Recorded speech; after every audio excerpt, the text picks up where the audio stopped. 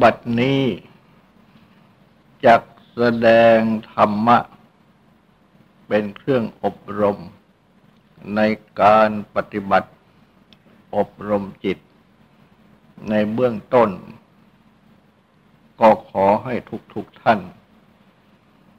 ตั้งใจ นอบน้อมนมัสการพระภูมิพระภาค อรหันตสัมมาสัมพุทธเจ้าพระองค์นั้น ตั้งใจ ถึงพระองค์ พร้อมทั้งพระธรรม และพระสนะตั้งใจสำรวมกายวาจาใจให้เป็นศีลทำสมาธิในการฟัง เพื่อให้ได้ปัญญา ในธรรม ได้แสดงประเทราธิบาย แห่งท่านพระสารีบุตร ในข้อสัมมาทิฏฐิ ความเห็นชอบมาโดยลำดับ จนถึงหมวดอวิชชา ซึ่งท่านประเทระได้อธิบายอาวิชชา ว่าได้แก่ ความไม่อย่างรู้ในทุกข์ ไม่อย่างรู้ในเหตุเกิดทุกข์ ไม่อย่างรู้ในความดับทุกข์ ไม่อย่างรู้ในทางปฏิบัติให้ถึงความดับทุกข์ คือไม่อย่างรู้ในอริยสัจทั้งสี่ท่านได้แสดงอธิบายอวิชชาเพียงเท่านี้ แต่ในที่นี้ ได้แสดงอธิบาย ยกเอาพระพุทธาธิบาย ที่ตรัสเอาไว้ มาเพิ่มเติม โดยที่ได้มีพระพุทธาธิบายอาวิชชา ก็คือไม่อย่างรู้ในอริสัตทั้งสี่ดังนั้นนั่นแหละ แต่ในที่บางแห่งได้มีเพิ่มอีกสี่ข้อ คือ ไม่ยังรู้ในอดีต ไม่ยังรู้ในอนาคต ไม่ยังรู้ทั้งในอดีต ทั้ง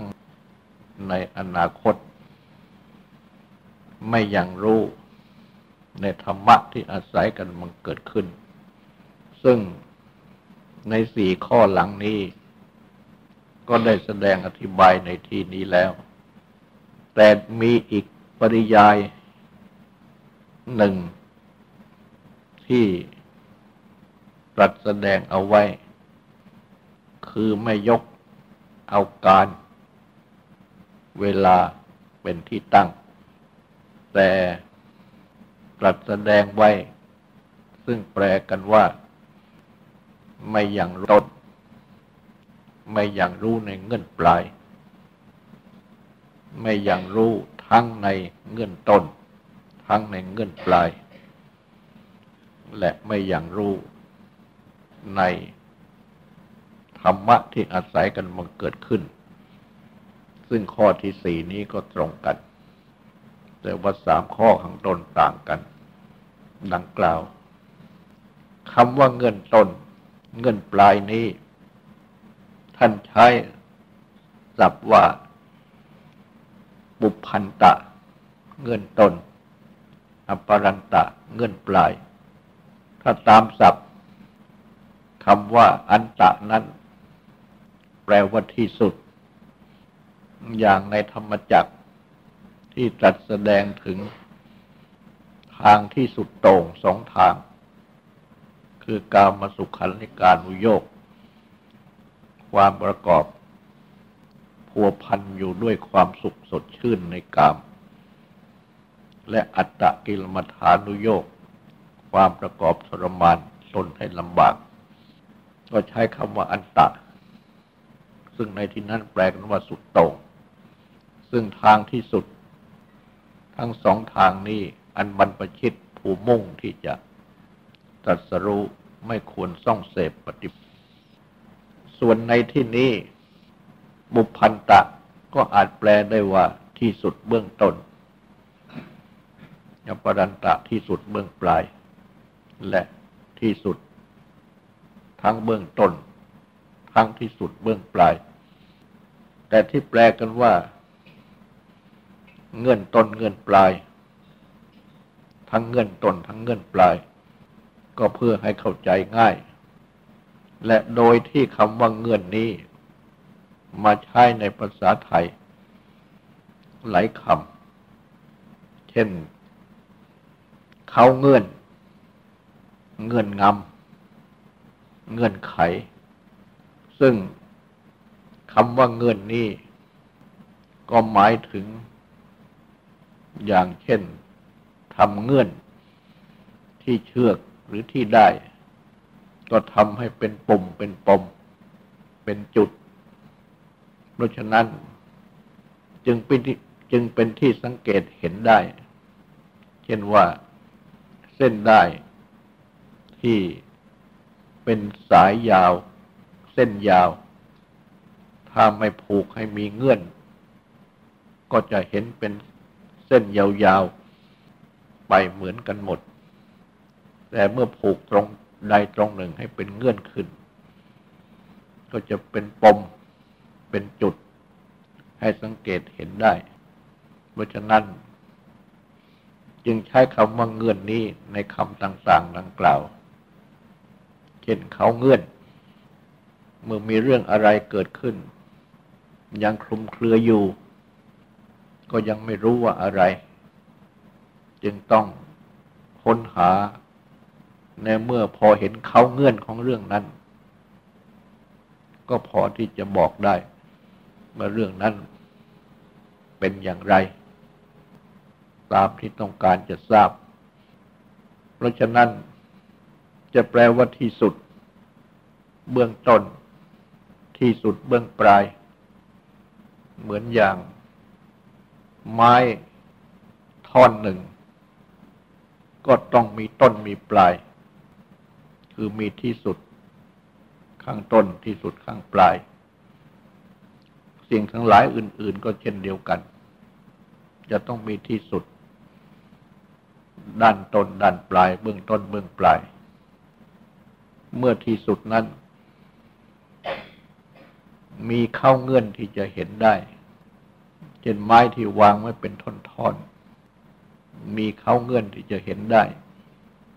ไม้ที่ต่อกัน หลายท่อนต่อกัน ยาวๆ ก็ อาจจะสังเกตเห็นรอยต่อ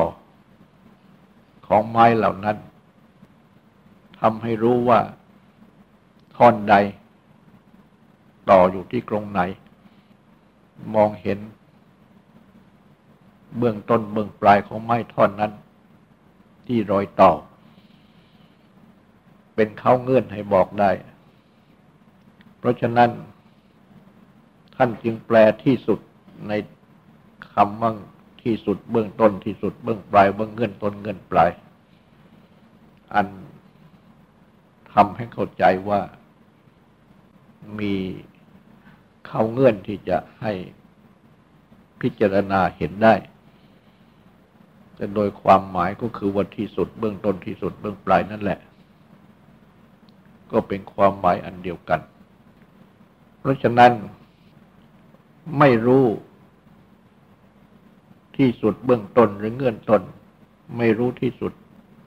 เบื้องปลายหรือเงื่อนปลาย จึงมีความหมายถึงในสัจจะคือความจริง ทุกๆอย่าง คือ สัจจะเมื่อรวมเข้า ก็ในอริสัจทั้งสี่นั่นแหละ อันได้แก่ทุก เหตุเกิดทุกข์ นี้เป็นฝ่ายทุกข์ ความดับทุกข์ ทางปฏิบัติให้ถึงความดับทุกข์ นี้เป็นฝ่ายดับทุกข์ ฉะนั้นในการที่จะรู้จักในอริยสัจดังกล่าวนี้ จึงจะต้องรู้จักเข้าเงื่อน จึงจะจับได้ถูก จับทุกข์ได้ถูกต้อง จับสมุทัยเหตุ เกิดทุกข์ได้ถูกต้อง จับความดับทุกข์ได้ถูกต้อง จับทางปฏิบัติให้ถึงความดับทุกข์ให้ถูกต้อง อันจะพึงกล่าวได้ว่า สมุทัยคือเหตุนั้น ย่อมเป็นเงื่อนต้น หรือที่สุดข้างต้น ส่วนทุกนั้น ย่อมเป็นเงื่อนปลาย หรือที่สุดข้างปลาย นี่ในฝ่ายทุกในความทุกข์ ที่ทุกๆคนได้รับอยู่ ซึ่งเป็นสภาวะทุกข์ ได้แก่เกิดแก่ตาย หรือเป็นปกินกาทุกทุกทางจิตใจที่บังเกิดขึ้น มีโศกะปริเทวะ ความโศก ความ รันจวนคร่ำครวญใจเป็นต้น ซึ่งเป็นความทุกข์เดือดร้อนทางใจทั้งหลาย เหล่านี้เมื่อบังเกิดขึ้น ก็จะต้องมีเงื่อนต้นเงื่อนปลายของทุกมีที่สุด เบื้องต้นที่สุดเบื้องปลายของทุกยกตัวอย่าง ดังเช่น เมื่อเป็นทุกข์ เพราะความพลัดพรากจากสิ่งที่เป็นที่รัก เช่น บุคคลที่เป็นที่รัก ต้องพรากกัน จากกัน หรือว่า ทรัพย์ ซึ่งเป็นที่รัก ต้องหายไป หรือถูกลักขโมยไป ถูกอันตรายต่างๆไป ก็เกิดความทุกข์จนเกิดความโศก ความแห้งใจ บริเทวะ ความรันจวนคร่ำครวญใจ เป็นความทุกข์ที่ทุกๆคน ต้องได้เคยประสบ คราวนี้เมื่อความทุกข์ดังนี้บังเกิดขึ้น ก็จับความทุกข์ได้วันนี้คือทุกข์ ซึ่งเป็นเบื้องปลายคือเป็นตัวผล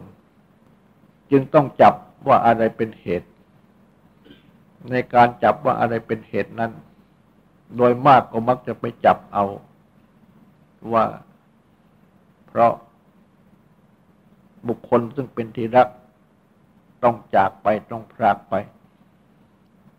หรือว่าทรัพย์สินซึ่งเป็นที่รักนั้น ๆ ต้องพรากไปหรือจากไป หรือว่าเลยมีคนนั้น ๆ ซึ่งเป็นศัตรู มาทำลาย มาพรากเหล่านี้เป็นต้น โดยมากก็จับตัวเหตุกันดังนี้ แต่เมื่อจะพิจารณาตามทางอริยสัจของพระพุทธเจ้า ซึ่งทรงแสดงว่าสมุทัย เหตุเกิดทุกข์ก็คือตัณหา ตัณหาคือความดิ้นรนทยานอยาก ซึ่งเป็นเหตุให้ยึดถือ ว่าเป็นตัวเราของเรา ตัณหาคือความดิ้นรนทยานอยากและความยึดถือว่าเป็นตัวเราของเรา อันเรียกว่าอุปาทาน นี้เองเป็นสมุทัยคือเหตุให้เกิดทุกข์ มีโสกะปริเทวะเป็นต้น ดังที่กล่าวนั้น เพราะฉะนั้นเมื่อจะจับเงื่อนต้นหรือที่สุดเบื้องต้น ให้ถูกต้อง ก็ต้องพิจารณาจับตามหลักอริสัของพระพุทธเจ้าตัวตัวเหตุนั้นก็คือตัณหาอุปาทานในจิตใจนี้เอง ไม่ใช่บุคคลหรือวัตถุภายนอก บุคคลซึ่งเป็นที่รัก ซึ่งพรากไปจากไป ทรัพย์สินซึ่งเป็นที่รัก ซึ่งพลัดพรากไปจากไปเป็นอันตรายไป ซึ่งพรากไปจากไป ทรัพย์สินซึ่งเป็นที่รัก ซึ่งพลัดพรากไปจากไปเป็นอันตรายไป นี่เป็นภายนอกถ้าหากว่าจิตใจนี้ไม่มีความอยากความยึดอยู่ในบุคคล ในทรัพย์สินนั้น ทุกข์ก็ย่อมจะไม่เกิด แต่เพราะจิตใจนี้มีความอยากคือตัวตัณหา มีความยึดคือตัวอุปาทาน อยู่ จึงได้มันเกิดความทุกข์เพราะฉะนั้น ก็ต้องหัดจับเงื่อนต้น หรือเบื้องต้นที่สุดเบื้องต้น ว่าคือตัณหาอุปาทาน ในจิตใจของตนเองนี้เอง เป็นเงื่อนต้น หรือเป็นที่สุดเบื้องต้นของทุกข์ซึ่งกำลังได้รับอยู่ เพราะฉะนั้น การหัดที่จะจับสัจจะคือความจริงตามหลักสัจจะของพระพุทธเจ้า ก็ต้องหัดที่จะพิจารณา จับ เงื่อนต้นเงื่อนปลาย หรือว่าที่สุดเบื้องต้น ที่สุดเบื้องปลาย ของเรื่อง คือเมื่อเรื่องที่กำลังประสบอยู่เป็นตัวทุกข์กำลังโศกอยู่กำลังร้องไห้อยู่คร่ำครวญรำพันอยู่ ก็ต้องจับให้ถูกว่า ทุกข์ซึ่งกำลังเสวยอยู่กำลังรับอยู่นี้เป็นเงื่อนปลาย เงื่อนต้นคือตัณหาอุปาทานในจิตใจของตนเอง บุคคลก็ตามวัตถุก็ตามเรื่องเป็นภายนอกนั้น เป็นตัวอารมณ์ ที่ยึดถือว่าเป็นตัวเราเป็นของเรา เพราะฉะนั้น ตัวเงื่อนต้นที่แท้จริง จึงอยู่ที่ตัวตัณหาอุปาทานในจิตใจนี้เอง เมื่อตัณหาอุปาทานนี้ สงบลงไป ทุกคือโสกะปริทาวเทวะเป็นต้นก็ย่อมจะสงบ ดังจะเพิ่งเห็นได้ว่า บุคคลที่ต้องประสบ ความพลัดพรากดังกล่าวนั้น เบื้องต้นมักจะทุกข์มาก ต้องโศกมาก ต้องร้องไห้คร่ำครวญรำพันมาก เพราะว่า ตัณหาคือความอยากอุปาอุปาทานคือความยึด ยังมากอยู่ ครั้นต่อไปต่อไปนานๆเข้า เอาปาทาน คือความอยากความยึด อยู่ในบุคคล ในทรัพย์สินที่พัดพรากไปนั้นๆ น้อยลงไป น้อยลงไปเพราะเหตุว่า จืดจาง ลืมเลือนไปเอง ก็ตาม ความทุกโศกซึ่งกำลังอยู่ที่ซึ่งกำลังได้รับอยู่กำลังเสวยอยู่นั้นก็ผ่อนคลายไปหายไป ในที่สุดเมื่อจิตใจจืดจาง ลืมเลือน ผ่อนคลาย ความอยากความยึดลงไป ทุกโศกก็หายไปโดยลำดับจนถึงเมื่อเลิก อยากเลิกยึดในบุคคลนั้นในสิ่งนั้น ทุกโศกก็หายไปหมดไม่มี เพราะฉะนั้น นี่แหละคือการหัดจับเงินต้นเงินปลายของเรื่องทั้งหลาย ในบางคราวเมื่อได้รับความประจวบกับสิ่งซึ่งเป็นที่รัก ย่อมจะมีความยินดี เบิกบานใจเป็นสุข และมีความอยากความยึดอยู่ในบุคคลและสิ่งซึ่งเป็นที่รักนั้น ดังเช่น เมื่อได้บุคคลซึ่งเป็นที่รักมา หรือว่าได้บุตรธิดา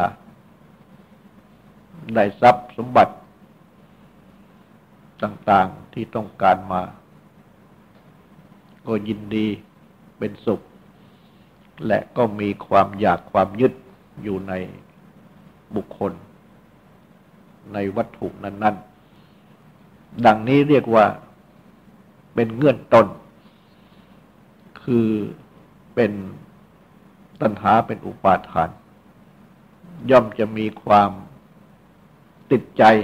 ยินดีเพลิดเพลิน เพราะฉะนั้นจึงได้ตรัสไว้ว่า ตัณหานั้นไปกับความติดใจยินดีความเพลิดเพลินทำให้มีความยินดี เพลิดเพลินยิ่งยิ่งขึ้นในอารมณ์นั้น ๆ ในสิ่งนั้น ๆ นี่นับว่าเป็นเงื่อนต้น ซึ่งมักจะไม่นึกถึงเงื่อนปลาย คือตัวทุกข์เพราะในขณะที่ยัง เป็นสมบัติ คือเป็นความรั่งพร้อมอยู่นั้นมีความสุข มีความเพลิดเพลิน ยังไม่มีวิบัติ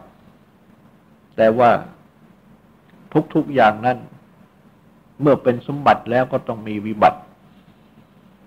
เมื่อมีประจวบก็ต้องมีพลัดพราก เพราะฉะนั้นในเงื่อนปลาย อันหมายความว่าเมื่อถึงเวลาที่จะต้องพลัดพราก โดยที่ต้องพลัดพรากไปในระหว่างชีวิต เพราะเหตุอันตรายต่าง ๆ ก็ตาม หรือว่าจะต้องพลัดพรากไปตามคติธรรมดา คือตามสภาวะทุกข์ แก่เจ็บตายไปก็ตาม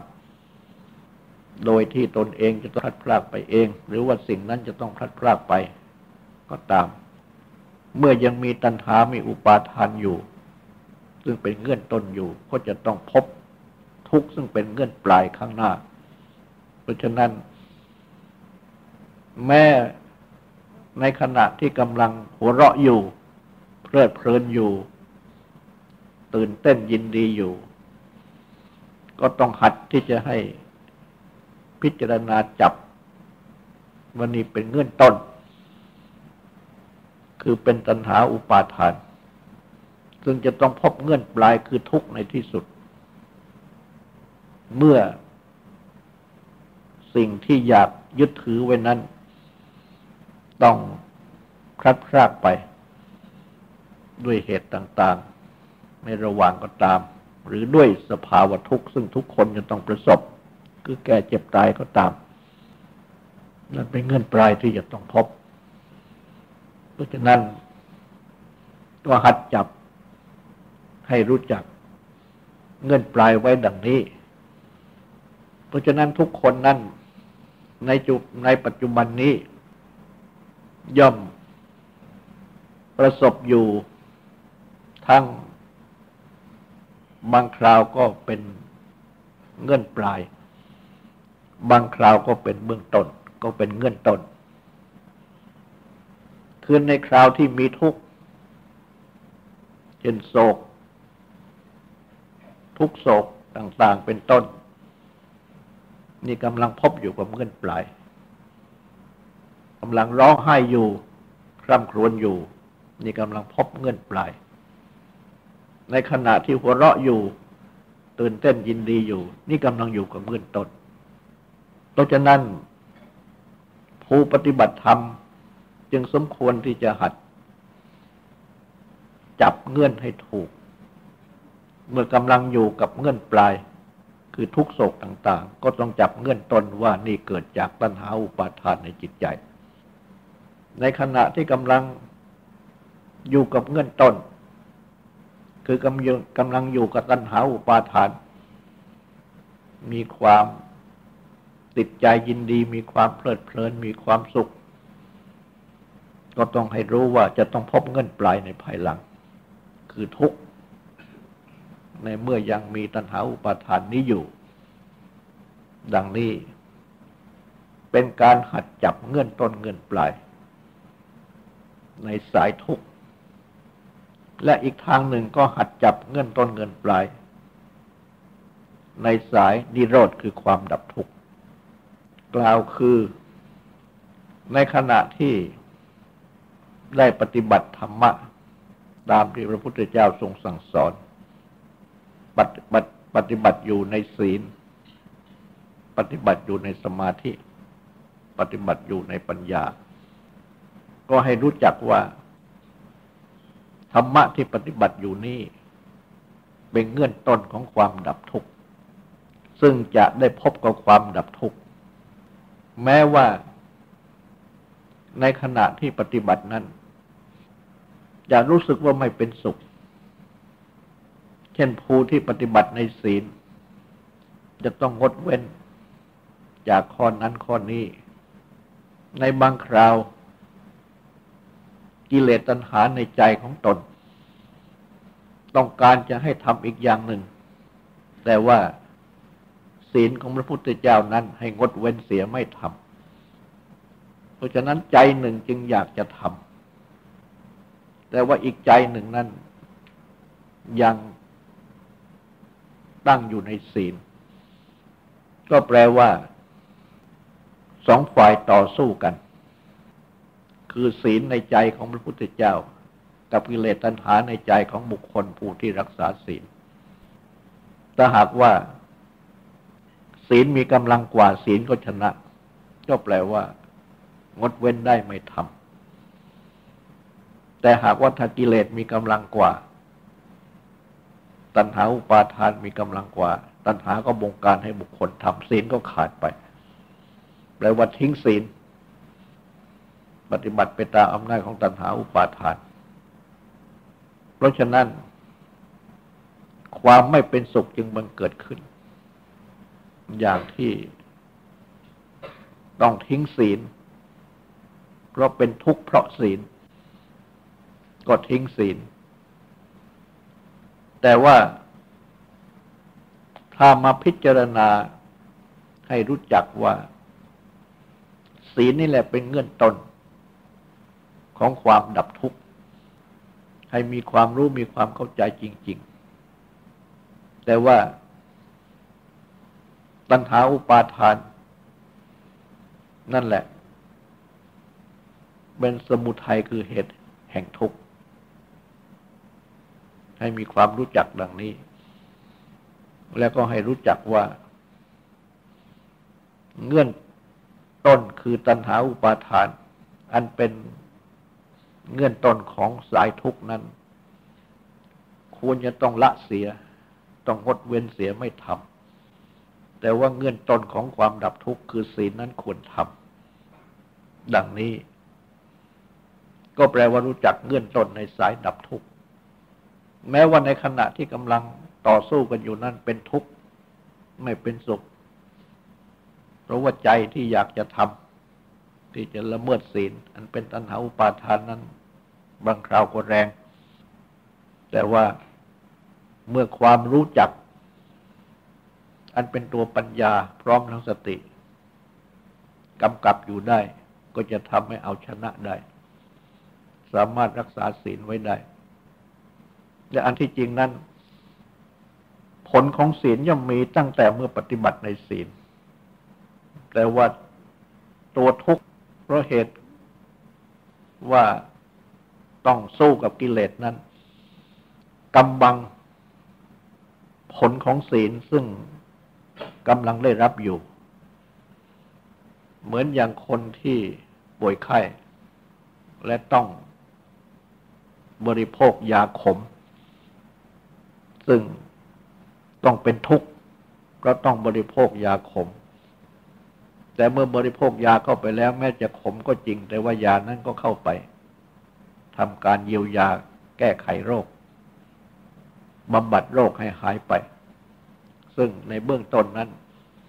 คนป่วยเองก็ยังไม่รู้ แต่ว่าที่รู้ก็คือตัวทุกข์ก็ต้องกินยาขม หรือว่าที่ต้องผ่าตัดต้องฉีดยาเขาเอาเข็มแทงเนื้อก็เจ็บ ที่รู้อยู่ในปัจจุบันคือว่าเจ็บ ซึ่งเป็นตัวทุกข์ แต่ว่าผลที่ได้จากการที่ฉีดยา หรือว่าผ่าตัดนั้นจะเป็นการรักษาให้หายโรค ซึ่งทีแรกยังไม่รู้ แต่ความจริงนั้น การปฏิบัติรักษานั้นก็เป็นการ บำบัดโรคตั้งแต่เบื้องต้นแล้ว แต่ความเจ็บยังกำบังอยู่ ยังมองไม่เห็น เพราะฉะนั้น จึงต้องหัดทำความรู้ดังนี้ว่าผลของศีลนั้นมีตั้งแต่ต้น แต่ว่าตัวทุกนั้นทุกเพราะกิเลสตัณหาตั้งหักซึ่งยังครอบงำใจอยู่มาก เมื่อกิเลสตัณหาพ่ายแพ้ลงไปสงบลงไป ความดิ้นรนต่าง ๆ ก็จะหายไป กลายเป็นความสงบความสุขขึ้นโดยลำดับ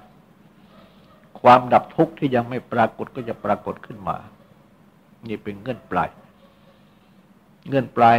คือความดับทุกข์ในเบื้องต้นนั้นยังเหมือนยังกำบังซ่อนเร้นอยู่ บุคคลยังไม่อาจจะรู้ได้ แต่เมื่อเอาชนะกิเลสได้ กิเลสสงบไปโดยลำดับแล้ว ความดับทุกข์ก็จะโผล่ขึ้นมา เป็นตัวความสุขเป็นคอตัวความสงบ นี่เป็นเงื่อนไกลของศีล ในการปฏิบัติสมาธิก็เหมือนกันก็มักจะทำกันไม่ได้ รวมใจไม่อยู่ เพราะว่าใจนั้น มักจะแล่นไปตามอารมณ์ที่ใครที่ปรารถนา ให้มารวมอยู่กับลมให้ใจเข้าออก ให้ใจเข้าก็รู้ให้ใจออกก็รู้ หรือจะบริกรรมว่าพุทโธ พุทโธ ใจก็มักจะไม่อยู่ ใจมักจะออกไป ก็เพราะเหตุว่านิวรณ์นี่เอง เป็นต้นว่ากามมาฉันบ้างพยาบาทบ้างความงุ่งงุนเคลิบเคลิ้มบ้าง ความฟุ้งซ่านรำคาญใจบ้าง ความเครือบแคลงสงสัยต่าง ๆ บ้าง อันเป็นตัวกิเลส ดึงใจออกไป สู่อารมณ์อันเป็นที่ตั้งของกามฉันพยาบาทเป็นต้นเหล่านั้น เพราะว่าจิตใจอันนี้อยู่กับกิเลสเหล่านี้มานาน ซึ่งเปรียบเหมือนปลาที่อยู่ในน้ำจิตก็อยู่ในอารมณ์และกิเลสมานาน เพราะฉะนั้นการที่จะดึงใจขึ้นมาจากอารมณ์และกิเลส มาสู่อารมณ์ของกรรมฐาน ในเบื้องต้นจิตใจจึงไม่เป็นสุข เมื่อจิตใจไม่เป็นสุขร่างกายก็ไม่เป็นสุข ก็ทำให้ทำสมาธิไม่ได้นานบันดิวปันดาวสี่ห้านาทีก็เหมือนอย่างเป็นตั้งชั่วโมง แต่หากว่าถ้าปฏิบัติตามใจของกิเลสเช่นว่าดูหนังดูละคร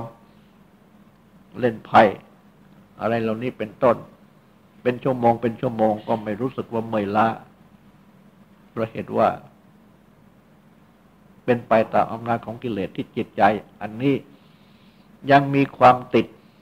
มียังมีความเพลิดเพลินอยู่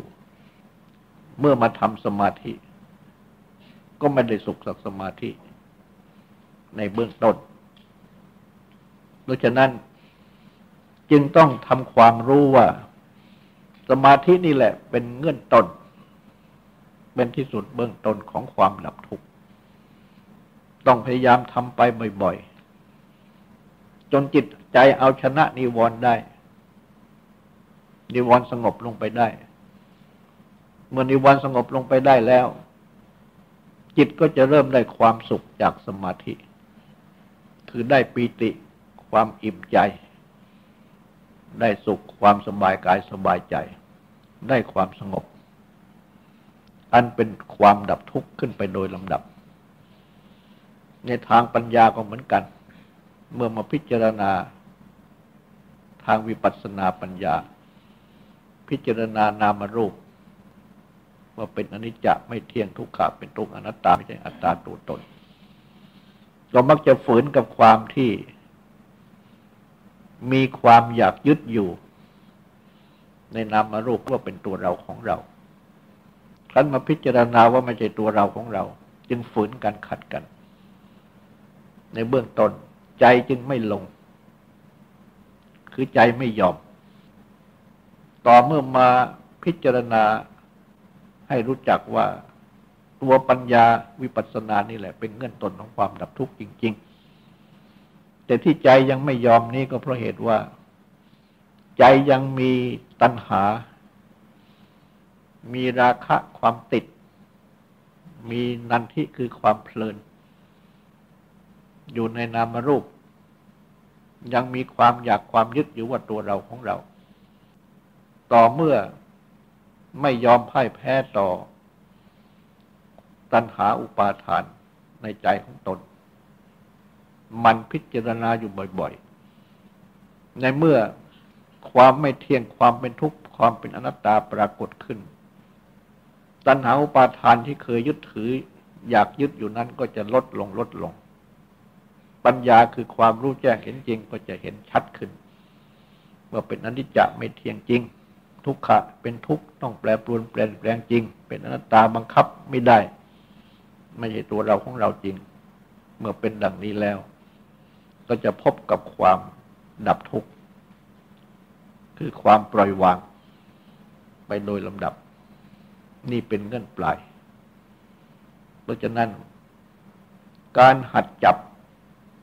เงื่อนต้นเงื่อนปลาย หรือที่สุดเบื้องต้นที่สุดเบื้องปลาย แยกกันทีละอย่าง และการหัดจับทั้งเงื่อนต้นทั้งเงื่อนปลาย หรือที่สุดเบื้องต้น ทั้งสุดเบื้องปลาย ที่ขนานกันไป ให้เห็นต่อกันไป เชื่อมกันไปประกอบกันไป ดังนี้ในอริสัตทั้งสี่ของพระพุทธเจ้าหัดจับเข้าทั้งในสายทุกข์ทั้งในสายดับทุกข์ดังนี้แล้ว เป็นการหัดให้ได้ญาณคือความอย่างรู้นั่นเป็นฝ่ายวิชา แต่ว่าฝ่ายอวิชานั้นก็คือไม่อย่างรู้ ในเงื่อนต้น หรือ ที่สุดเบื้องต้น ในเงื่อนปลาย หรือที่สุดเบื้องปลาย ในทั้งเงื่อนต้น หรือที่สุดเบื้องต้น ทั้งเงื่อนปลายหรือที่สุดเบื้องปลาย